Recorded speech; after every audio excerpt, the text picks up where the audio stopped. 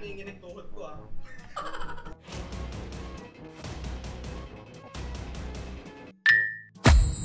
GG. Kasi di ba nagpapa-challenge ka Oh, yung mga tanong-tanong mo. so tatanungin mo rin ako. What if, hindi.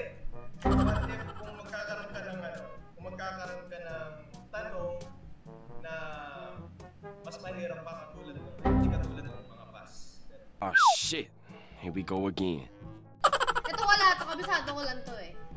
So, meron tatlong magkakaibigan Okay. na gustong pumasok sa isang bar. Kaya lang, um, para makapasok ka doon, um, kailangan alam mo yung secret code. Ito yung pinakatanong ha, dito tayo sa mga code. Sinabi ko na yung sitwasyon, ito na yung mga tanong.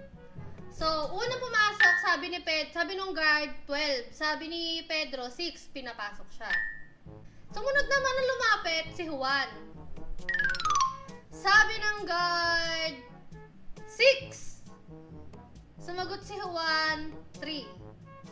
Pinapasok siya ngayon. Lumapit sa guard si Eddie.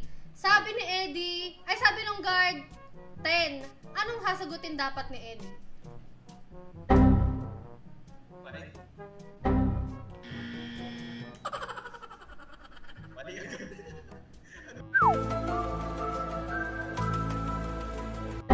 It was at this moment that he knew.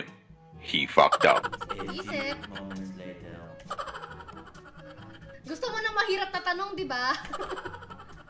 Hindi ko kalain yun ah. Ba't doon ako nahirapan ano? No, 5 is not the answer. Ulitin ko na lang ha, pasisimplihin ko. 12, 6. Sabi kay Pedro. 6, 3. Sabi kay Juan. 10 is what? Anong kailangan isagot ni Eddie para makapasok siya sa bar? Ni Aling Marites. GG.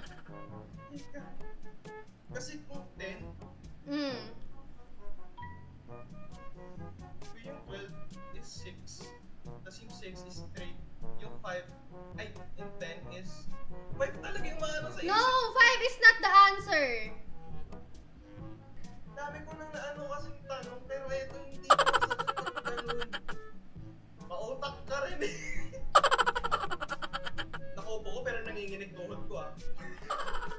Ganun?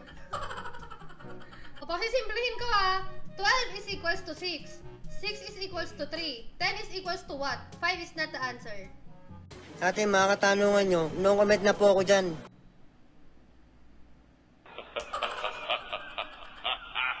Ah, sige, sana hindi ka makatulog.